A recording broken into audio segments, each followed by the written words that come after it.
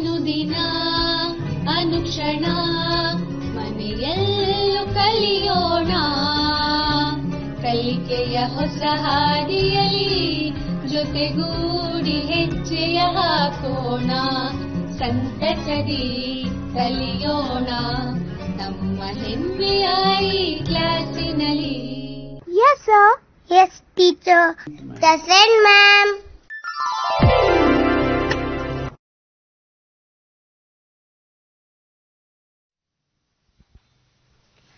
Hello children, how are you all? You are enjoying at home, isn't it? Now it's time for your English class. I warmly welcome you all for English class of 8th standard, third language. Hope as usual you are ready with your belongings. Yes, good children. I think you were eagerly waiting for the class, isn't it? So you are ready with your belongings. Okay. Today there is something surprise for you. Let us see what it is. Okay. Yeah. I just in the picture you can see monkeys. How many monkeys are there? Three monkeys. Isn't it? Yes. Monkeys, monkeys I have written. What we are going to do with these monkeys? Any guesses? Yeah, few of you are telling story. Few of you are telling rhyme. Few of you are telling game. Yeah. Today we are going to recite a rhyme on monkeys, monkeys. Okay children, first I will recite. Listen carefully. Shall I? Thank you. Monkeys, monkeys, there are three. Monkeys, monkeys, upon a tree. Mummy, daddy, and baby. Wow, what a cute family. Monkeys, monkeys, love to play. Over the trees all the day. Mummy, daddy, and baby enjoy in a forest happily. Did you enjoy the rhyme? You too want to recite a rhyme? Okay, now it's your turn. Shall we start to recite the same rhyme what just I have recited? Okay, children. Monkeys, monkeys. Okay, now you have to repeat after me. Monkeys, monkeys, there are three. Monkeys, monkeys upon a tree. Mummy, daddy, and baby. Wow, what a cute family. Monkeys, monkeys love to play. Over the trees all the day. Mummy, daddy, and baby enjoy in a forest happily. Yeah, I hope you all have enjoyed this rhyme. See what a cute family we can see. Daddy, mommy, and baby, they are enjoying, they are playing, isn't it? Okay, see, in a same forest, there was one more monkey. In a forest, there was one more monkey. He was very naughty. That monkey, you can see in the picture, no? He is sitting, here he is sitting, see? Yeah, this monkey was naughty. And he used to disturb others. He used to make fun of others. Let us see what he had done with bear.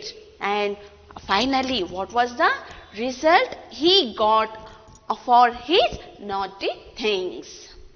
Okay, children. There lived a monkey in the forest. It was very naughty. It used to tell lies and was making fun of others. One day, a bear came there. The monkey said, There is a big snake. Don't go that way. Hearing this, bear ran away. Then a big snake, see here in the picture it is sitting no? The big snake was watching all the naughty things of this naughtiest monkey.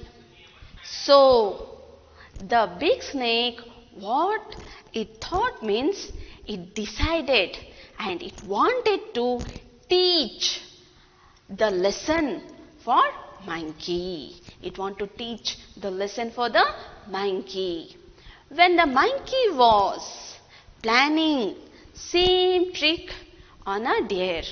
Yeah, monkey, he oh he won't sit simply, just he want to make fun of others. He was very naughty, isn't it? So, he, anyhow, he told lie and he made bear to run away. But now it was the turn of Yes, dear, deer. Okay, the monkey was planning same trick on a deer. So, Suddenly, a snake came. A big snake. See how big it is. Look at its face, isn't it?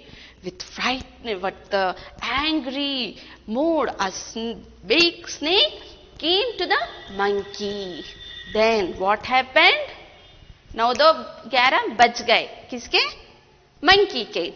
The monkey got frightened and ran away see children what the monkey did was not right thing no? Now let me check your understanding. What you have understand about this naughty monkey? Where did the monkey live yes? Your answer is right. The monkey lived in the forest. How did it make fun of others? How did it make fun of others? It made fun of others by telling lies. What did the monkey tell the bear? There is a big snake. Don't go that way. The monkey said, There is a big snake. Don't go that way. Who taught a lesson to the monkey? A big snake taught a lesson to the monkey. Okay, children.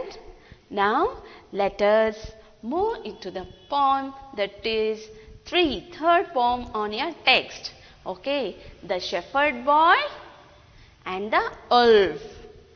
The title of the poem is The Shepherd Boy and the Wolf. Okay, before moving to the poem, let's see about the author. Okay, Aesop fables are the collections of fables credited to Aesop, a slave and a storyteller.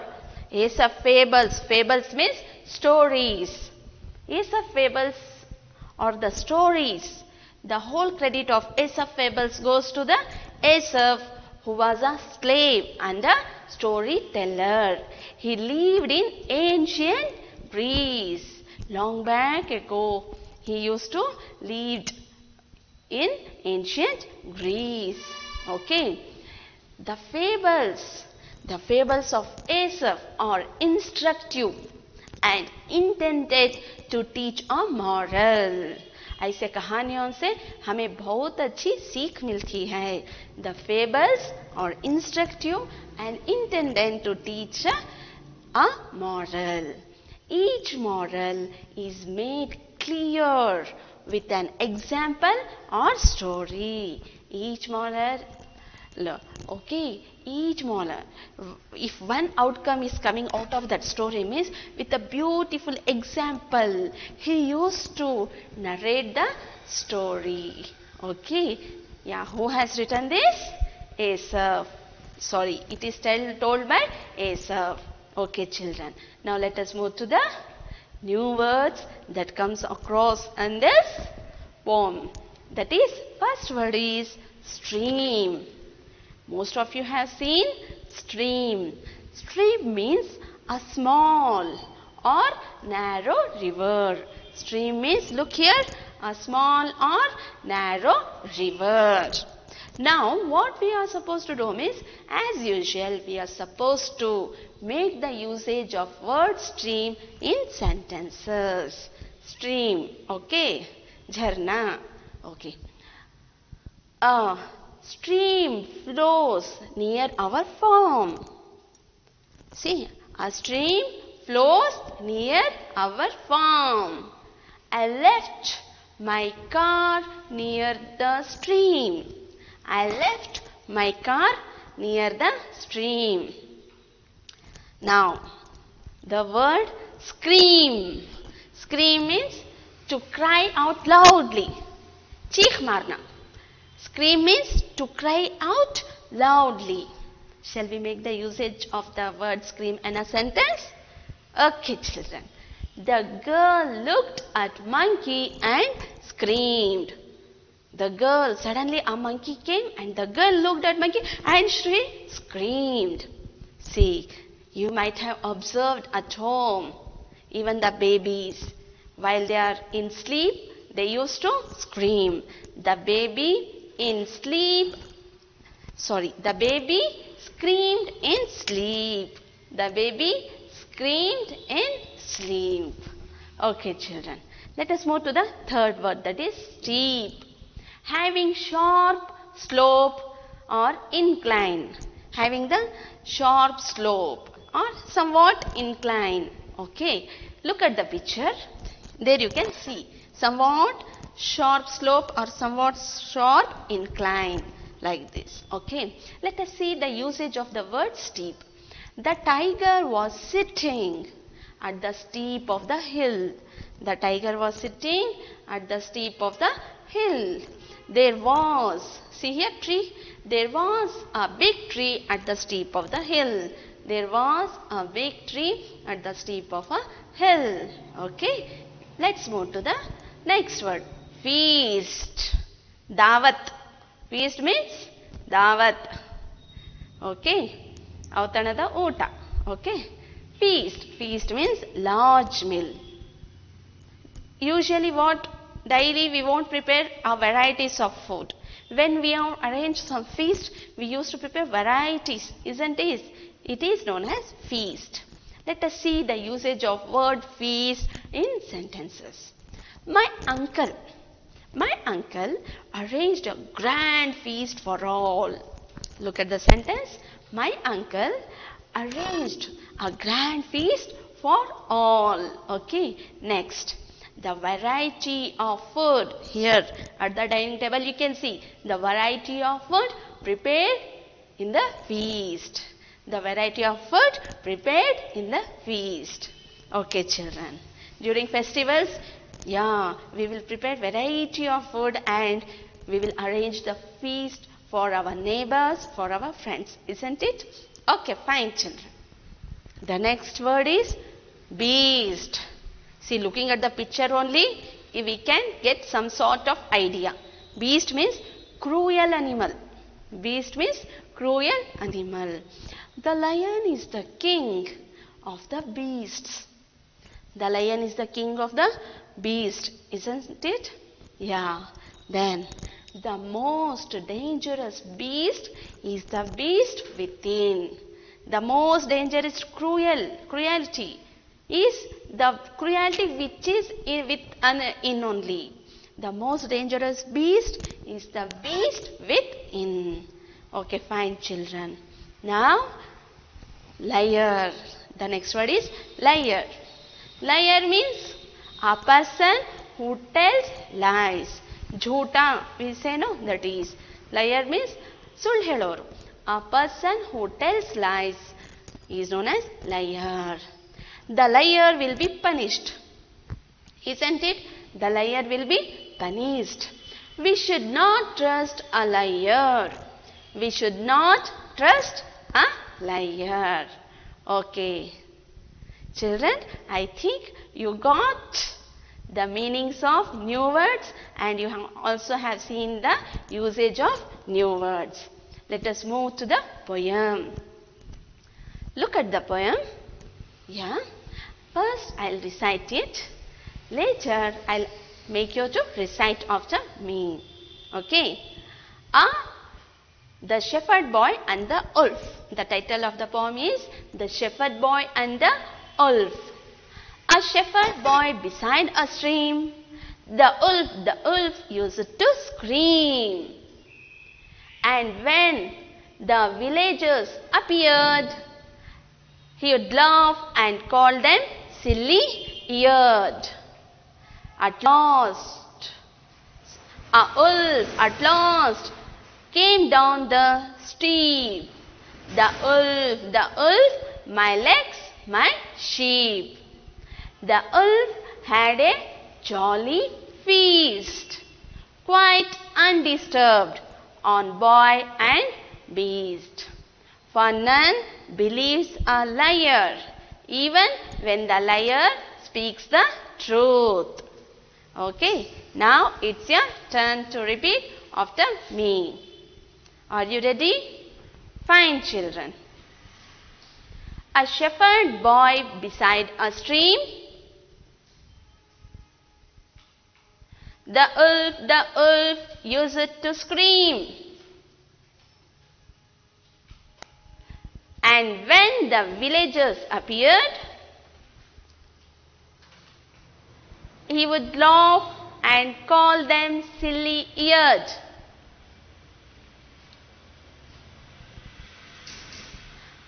A wolf at last came down the steep. The wolf, the wolf, my legs, my sheep. The wolf had a jolly feast, quite undisturbed on boy and beast. For none believes a liar, even when the liar speaks the truth. Okay, I hope you all enjoyed while reciting the rhyme. Okay, children. Now let us move on to the activity write the plural of. You know the activities, many more activities you have practiced on one and many, isn't it? Now it's a task for you that you have to write the plurals of boy, stream, wolf, sheep, feast, beast. Okay, children. Once again, I'll read out the words for you. Boy, stream, stream is a narrow river. Wolf, sheep, feast, beast. Okay. I hope you have noted down these words. Okay, still you are taking down? You are ready to shout out the answers? Okay, then we will move to the answers. The plural of boy, boys. Stream, streams. Wolf, wolves. Sheep, sheep. If they are countable, then we can say one or two are there sheep. Generally we say sheep, sheep. Feast, feasts. Beast, beasts. Feast means exactly a large meal. Beast means cruel. We should make the beast which is in us to run away. Then only we can become a good persons. Isn't it? Okay, fine children. Once again, repeat after me. Boy, boys, stream, streams, wolf, wolves, sheep, sheep, feast, feasts, beast, beasts. Okay. Then let us move to the next activity. Yeah. Look at the example and change this to these. When there is a one thing and that is very near to us, we will say it as this. When there are more things, more than one, and they are near to us, at that time we use these. Isn't it children? Yes. When the things, they are more in number and near to us, these. T-H-E-S-E, these. And when there is a thing which is near to and that is one in number, we will say this. T-H-I-S. This, these. This, these.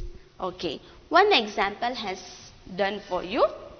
This is a cake. This is a cake. One piece is there. This is a cake. Now we have to convert it into these. These are cakes. These are cakes. In the earlier classes, we already have seen the usage of is and are, isn't it? These are cakes. Now, the three questions have been given here. Okay. This is a fork. This is a house. This is a lamp. You are ready? Good children. This is a cake. These are cakes. This is a fork. These are forks. Good. This is a house. These are houses. This is a lamp. These are lamps. Okay. Next, the extended activity of this to these will move to that and those. Now, the one thing which is near to us, this. The one thing which is far from us, that. This, that. More than one, these. More than one which are far for us, those. Okay. Look at the example and change that to those. That is a flower. That is a flower. When there is a single, that is a flower. More than one flower, flower becomes flowers. Is a becomes are, isn't it? Those are flowers. Those are flowers. Three more are there? Yes. That is a flower. Those are flowers. Yes. Now it's time for you for the work to do. I'll read out the questions. This is a boat. This is a tree. Sorry. That is a boat. That is a tree. That is a cloud. Now you have to make it that to those. If it is near, this is a boat. If it is far, that is a boat. If it is near, this is a tree. If it is far, that is a tree. If it is near, this is a cloud. If it is far, that is a cloud. You have to make, yeah, that to those. Okay, you are note down it. Well, children, I will give few more seconds for you. Let us move to the answers.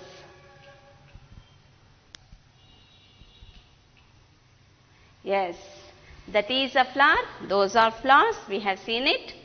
That is a boat. Those are boats. That is a tree. Those are trees. Yes, that is a tree. Those are trees. That is a cloud. Those are clouds. Fine children. Now, yes, those are clouds. Now, let us look into the rhyming words. Already in your earlier classes, while you were 6, 7, 5th and all, you have learnt about rhyming words. Rhyming words means the words which ends with the same sounds, isn't it? They are said to be a same, yes. Okay, fine. Okay, those are said to be a rhyming words. One example is done for you. Let us look into it. Take. The rhyming of take is make, cake, fake. Yeah. E- Take, make, cake, fake. Let us move to the second one. Ball, call, fall, tall. Okay, children. Light. Rhyming words of light are fight, sight, might, care, fair, hair, mare, play, clay, say, grey. Yes. In the first word you can see AKE. All the words they are ending with AKE and sound A. In the second all ALL, ALL, ALL. In the third one I-G-H-T, I-G-H-T, I-G-H-T. IGHT, IGHT. Fight, sight, might. Fourth one care, fair, hay, mare. Fifth one play, clay, say, grey. Now it's time for assignment. Write the rhyming words for the following. Note down the rhyming words what I have given on a screen and you have to write the rhyming words. Yeah, one example is there for you. Day, bay, say, lay, way. Yes, you have to write it for stream. Mm. Second word, feast. Third, boy. Fourth, sheep. Fifth, book.